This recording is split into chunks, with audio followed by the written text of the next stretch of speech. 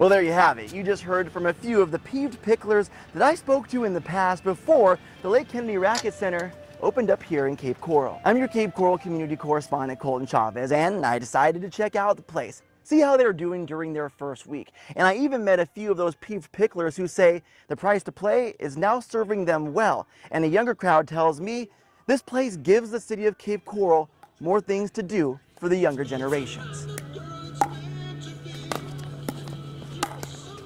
Yes, I was one of them. Ernest admits he thought the price to play was too high. So I asked him, why was he here? Half price.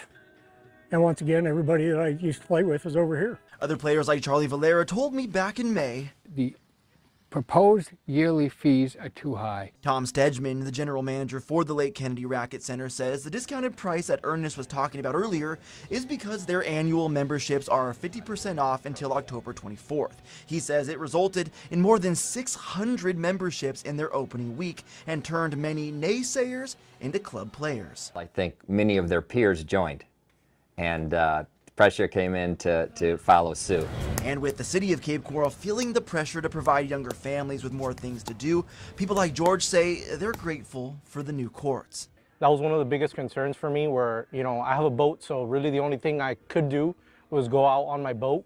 But there was, you know, um, no malls. Um, you have to go all the way to Fort Myers. So while the paddles play on, the only question for players is what they'll do once the discounted rates are over. Don't know. Sure, I, it's, it's, again, it's the nicest place, so you know, paying something is good. Um, but there are some nice courts that are free too, so I guess I guess we'll kind of wait and see. Beautiful complex. Reporting courtside in Cape Coral, Colton Chavez, Fox 4.